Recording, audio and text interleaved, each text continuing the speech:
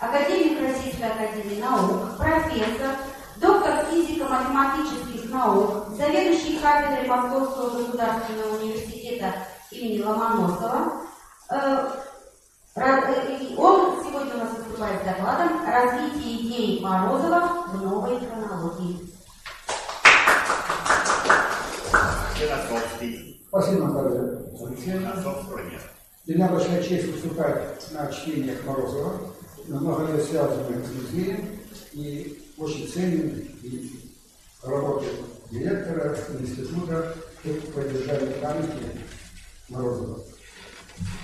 Здесь немного, я постараюсь изложить то, что хотели сказать коллегам. Николай Александрович Морозов, великий русский ученый-энциклопедист, внесший замечательный вклад в построение правильного здания средневековой и древней истории человечества. Предшественники Морозова, Исаак Ньютон, автор книги «Измененная хронология древних царств», Т. Арсилова, Жан Гардуин, Эдвин Джонсон, Роберт Балдау, Вильгельм Камальдер.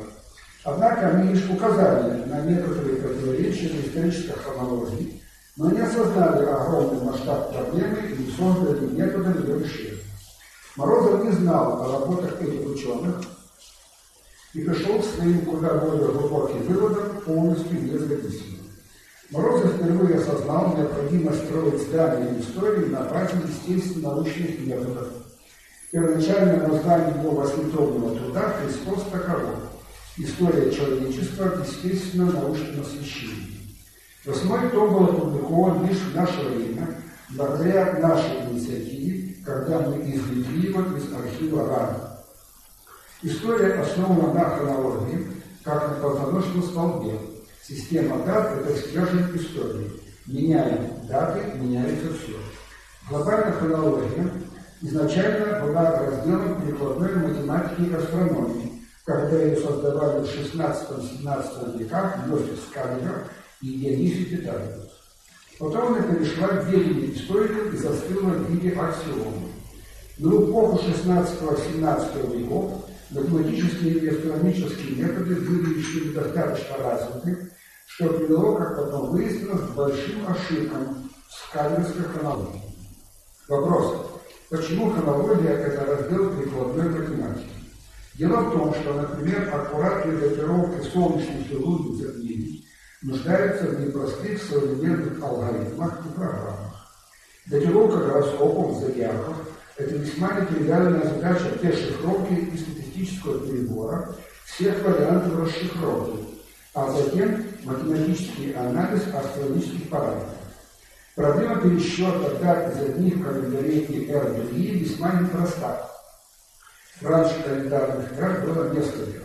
Например, использовался двойной счетчик круг Солнцу, круг Луне и индикли, то есть три циклических счетчика с разными периодами. Для локальных дат они хороши, но если дата события заранее неизвестна, то ошибка в одной цифре на счетчиках может привести к ошибкам в дате в сотни лет. Еще пример. Во многих хрониках события датируются по отношению к одной равноденствию. На его определение достаточно непросто. Ошибка в один день смещает дату событий примерно на 70 лет. В то же время известно, что в некоторых хрониках XIV века день равноденствия с ошибкой в 6 дней на всех пластах, что дает ошибки в датах на несколько сотен лет. Далее. Хронология в значительной была основана на правилах исчисления дат Пасхи, что было непростой задачей для средневековых хронистов и порождало множество ошибок. Морозов понял необходимость вернуть хронологию в лоно прикладной математики и астрономии. Хронология в XVII веке вышла из таблиц Хагера Питагоруса и перешла в ведение историков, которые восприняли ее как аксиому и с тех пор глубоко не анализировали, поскольку не владели математическими методами. По мере развития естественно-научных методов стали обнаруживаться серьезные ошибки в хронологии скалы Питагоруса. Дело в том, что с тех пор математические и астрономические методы радикально улучшились, и обнаруженные ошибки достигают иногда сотен и тысяч лет. Морозов первый понял, что хронология античности искусственно удлинена и нуждается в сокращении. Он обнаружил дубликаты письменной истории, когда одно и то же событие размножалось на бумаге, и дубликаты сдвигались в прошлое, после чего воспринимались как якобы разные события, с разными персонажами и в разных регионах. Так возникли миражи, фантомные отражения в скалиновской версии истории. Морозов первый обнаружил дубликаты 12 правителей, помещенные в разные исторические эпохи, как якобы различия. Морозов первый обнаружил серьезные ошибки в датировках древних затмений и зодиаков гороскопов. Он понял, что их даты следует омолодить, придвинуть ближе к нам. Это относится, например, к известным древнеегипетским зодиакам. После публикации Морозова перитологи прекратили попытки датировать такие зодиаки и заявили, что зодиаки Египта не несут в себе несколько астрономической информации, а являются просто картинками. И кто не поняли, глядя на результаты Морозова, что при аккуратном датировании получаются даты, радикально противоречащие скалеровской истории, а потому стали замалчивать обнаруженную проблему. Морозов первый понял, что в эпоху 13-17 веков многие старинные тексты редактировались, в них вносились скалеровские датировки, которые во многих случаях искусственно отодвигали средневековые тексты в глубокое прошлое, то есть удлиняли историю. Новая хронология сделала следующие важные шаги. Были проанализированы методы датирования, используемые историками и археологами, метод археологических цепочек, радиоуглеродный метод, геохронологический метод и другие. Выяснилось, что применительно к событиям одной-двух тысячелетней давности они допускают большие ошибки, сравнимые с возрастом датируемых образцов, то есть весьма неточные.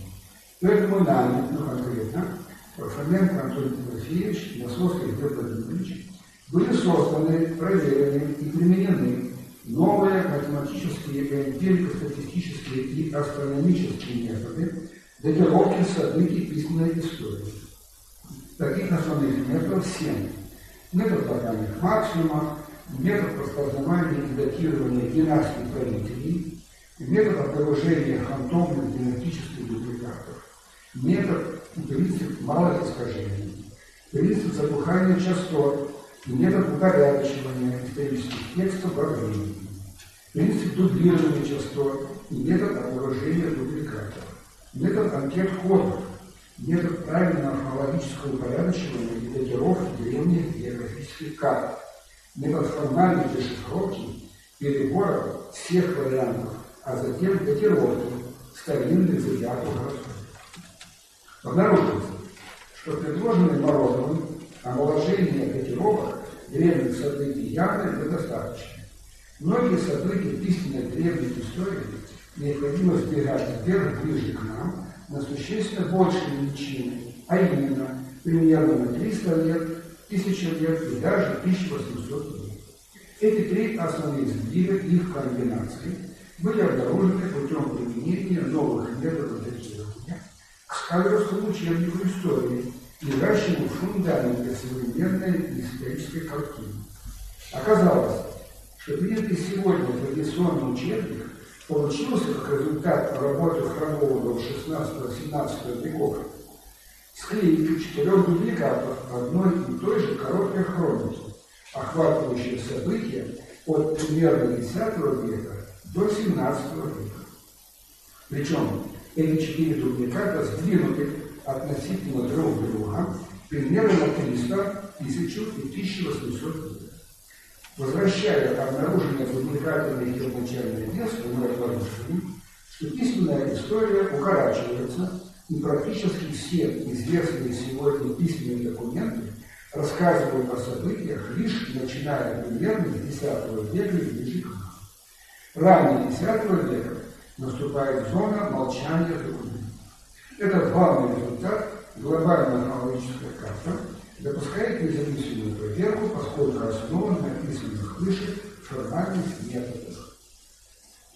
Затем мы предложили гипотетическую реконструкцию правильной древней истории, основанную на вычисленной нами короткой хронологии. Мы, конечно, не настаиваем на этой реконструкции. Эти результаты изложены в нескольких наших книгах. Все они представлены также в открытом доступе на нашем официальном сайте «Новая хронология» интернете. Можно прямо сейчас войти на сайт с помощью своего телефона. Возникшее научное направление называется «Новая хронология Фоменко-Ростовского». В нем активно участвует Татьяна Николаевна Фоменко, соавтор нескольких книг по хронологии. На сайте также представлены наши ответы на критику, есть раздел «Дискуссии», есть раздел «Форум», где участвует множество как сторонников, так и критиков, противников новой хронологии. В Ярославле в 2019 году открылся большой музей новой хронологии в усадьбе особняке князей Куракиных на центральной набережной Волги, ну, прямо около центральной. Пользуется значительной популярностью. В музее, в частности, полно представлены многочисленные материалы замечательного ученого энциклопедисте Николая Александровича Бабова. Спасибо за внимание.